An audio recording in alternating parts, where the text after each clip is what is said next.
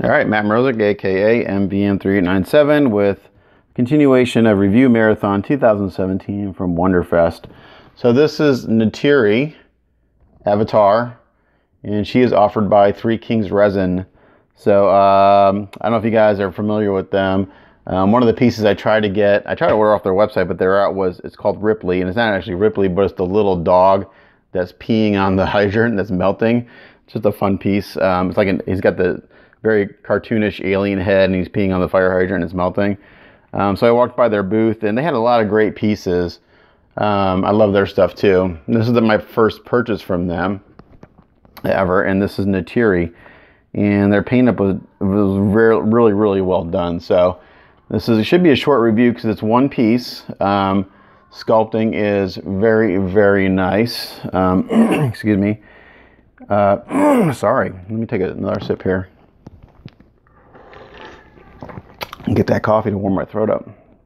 So let's take a look at Neytiri. So um, I'm a huge Avatar fan. Can't wait till the second one comes out. Who knows when that will ever be. uh, really cool piece. Um, just a few little things to point out. There's a little bit of a little resin thing here on the chin that's got to be that'll be needed to sand it out. Not a big deal. And then on her, uh, there's a feather coming off her hair right here, and there's a little bit of cleanup there that'll have to be snipped off and cleaned up. But again, nothing major. all these kits I got are really all around really excellent kits. There's, you know, you have your usual mold lines to deal with, but everything I've looked at, there's no slippage of the molds, there's no steps. So just, you know, mold line cleanup and maybe a bubble here or two, but really, really well done stuff from everyone around. Um, just love the sculpt in general. She's a big piece too. I should have a tape measure out for you guys, but I don't because I'm never prepared.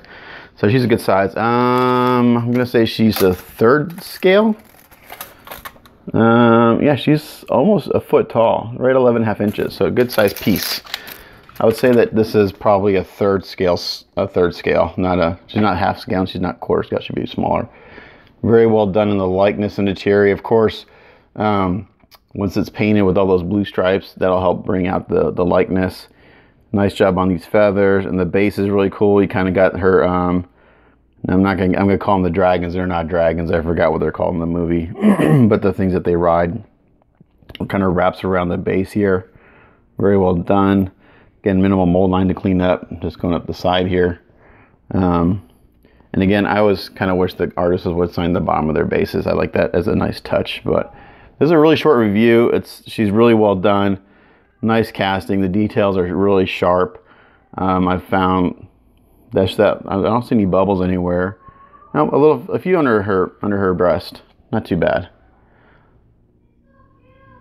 So let's see. Just under there. A little bit of Aves and you're done.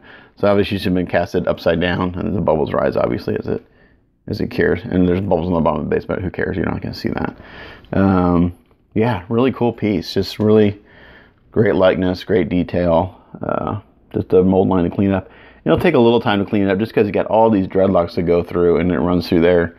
But you know, it's always better to, have the mold line going this way than through their face. so, because that would be that would not be fun to have to try to clean a mold line on someone's face.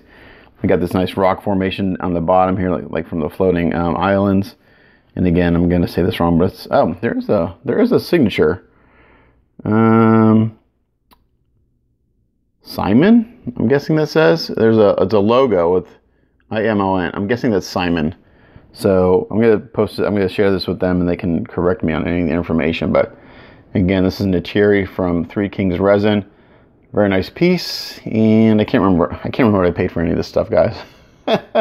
it's a whirlwind, but uh, I, I I wouldn't have gotten it if I didn't think it was worth the price. Um, but fun piece, yeah. So check out Three Kings Resin. Uh, I'll I think they have a Facebook page. I know they have a website, so if they don't have a Facebook page, I'll put the website down below and you guys can give them a shout, see if they have any available. But again, this is Matt Mrozek, aka MVM3897, signing off. Wait for the next one.